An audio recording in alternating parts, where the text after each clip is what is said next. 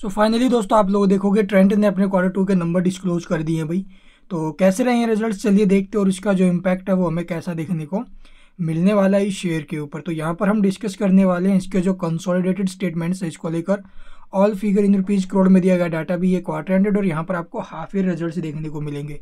अगर बात की जाए टोटल इनकम की या फिर टोटल रिवेन्यू तो करंट क्वार्टर में जो टोटल इनकम या फिर टोटल रिवेन्यू हमें देखने को मिल रहा है, वो है चार हज़ार दो सौ चार करोड़ का, जो प्रीवियस में क्या था अभी चार हज़ार एक सौ पचास करोड़ का और प्रीवियस ईयर के सेम क्वार्टर से कंपेयर करोगे तो वहाँ पर आपको तीन हज़ार बासठ करोड़ की जो इनकम है वो देखने को मिली है कंपनी की। यानी कि ईयर टू ईयर आप लोग कंपेयर करोगे तो इसका जो रिवेन्यू है ना भाई, वो हमें इंक्रीज होते हुए नज़र आ रहे हैं एंड क्वार्टर टू क्वार्टर भी इसका इनकम इंक्रीज हुआ है।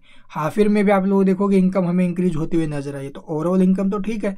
इसके बाद एक्सपेंस देखेंगे, यानी जो खर्चे किए हैं कंपनी ने तो करंट क्वार्टर में एक्सपेंस कैसे तीन हज़ार सात सौ तिरतालीस करोड़ के। प्रीवियस में तीन हज़ार सात सौ चार करोड़ के और प्रीवियस ईयर के सेम क्वार्टर में तीन हज़ार सात सौ तिहत्तर करोड़ के। यानी कि सॉरी दो हज़ार सात सौ तिहत्तर, यानी कि ईयर टू ईयर बेसिस पर एक्सपेंस बढ़े हैं एंड क्वार्टर टू क्वार्टर भी एक्सपेंस बढ़े हैं। बट अब की बार जो रिवेन्यू है ना वो क्या अभी एक्सपेंस से ज़्यादा है मतलब कंपनी ने फिर से प्रॉफिट ही बनाया है बट प्रॉफिट कितना है? चलिए देख लेते भी net profit for the period या फिर आफ्टर टैक्स या फिर क्वार्टर तो यहाँ पर देखोगे 335 करोड़ का प्रॉफिट है भाई, जो प्रीवियस क्वार्टर से टूटा है, तीन सौ इक्यानवे करोड़ से। वहीं प्रीवियस ईयर के सेम क्वार्टर में दो सौ अट्ठाईस करोड़ था, वहाँ से इंक्रीज हुआ अभी इसका profit year on year basis पर इंक्रीज है, लगभग फिफ्टी परसेंट के, लेकिन क्यों ऑन क्यू बेसिस पर इसका प्रॉफिट टूटा है। ठीक है? हाफ़ हाफिर में भी आप लोग देखोगे प्रॉफिट ऑलमोस्ट डबल होते हुए नज़र आ रहे हैं। एंड इसके अलावा अर्निंग पर शेयर की अगर बात की जाए, यानी कि जो इसका ई e वगैरह है, चलिए वो आपको मैं दिखा देता हूँ भाई। तो ये देखोगे इसका जो अर्निंग पर शेयर है, लगभग नौ रुपये तिरपन पैसे प्रीवियस में ग्यारह रुपये चार पैसे था। और प्रीवियस ईयर के सेम क्वार्टर में लगभग छः रुपये साठ पैसे के आसपास। तो इसका ई e भी हमें जो ना अभी क्यू ऑन क्यू बेसिस पर डाउन आते हुए नज़र आए तो आप लोग देखोगे रिजल्ट्स ठीक है तो इसके ऊपर आप लोग देखोगे स्टॉक आपको एकदम क्रैश होते हुए नज़र आ रहे हैं। तो क्रैश क्यों हुआ ये? या तो फिर आप लोग देखो क्वार्टर टू क्वार्टर बेसिस पर जो रिजल्ट्स आए हैं, इसका इम्पैक्ट हो सकता है भाई।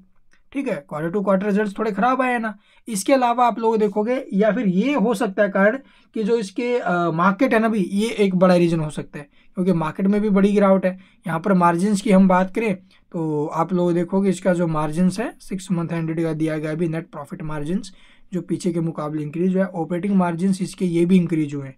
तो रिजल्ट्स तो कुल मिलाकर ठीक है भाई। ये एसेट्स वगैरह आप लोग देखोगे पीछे के मुकाबले जो इसके टोटल एसेट्स है वो इंक्रीज हुई है।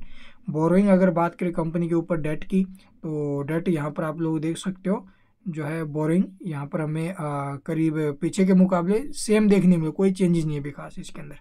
ठीक है? और ये कैश फ्लो स्टेटमेंट से देखना चाहो तो देख सकते हो भाई। और बाकी यहाँ पर कोई और तो अनाउंसमेंट हुई नहीं है।